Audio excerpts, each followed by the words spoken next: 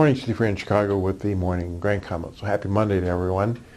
Overnight, corn and wheat prices are lower.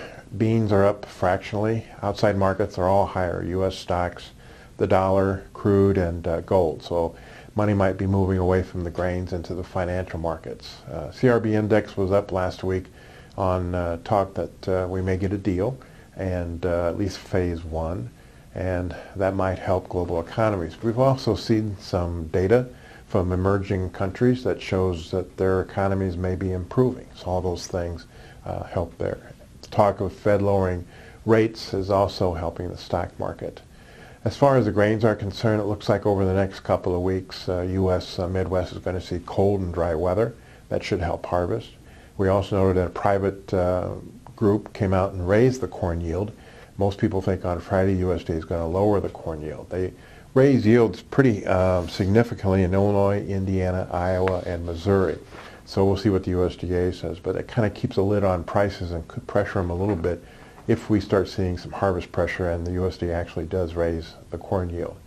Uh, over in the beans, uh, President uh, of the United States tweeted on Friday that he might invite the Chinese president to Iowa to sign uh, phase one of the trade deal. Um, probably during the Democratic uh, primary, which is probably good timing for him.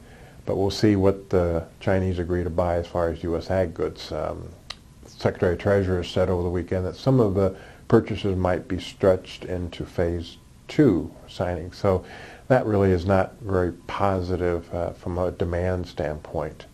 Uh, beans also, uh, looking at uh, good harvest weather here in U.S. and down in South America, it looks like over the next couple weeks, most of Brazil and Argentina is going to get a rain. And I think the Brazilian soybean planting pace has been behind normal because it's dry, and this should help conditions down there.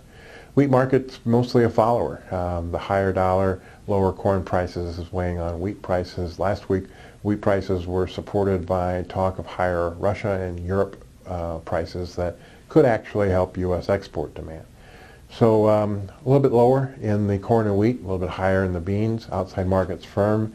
And our next uh, big thing will be Friday's USDA uh, November report, which they should change crop numbers and S&Ds. As always, these are my thoughts and not those of ADM or ADM Investor Services. Have a safe and profitable trading day.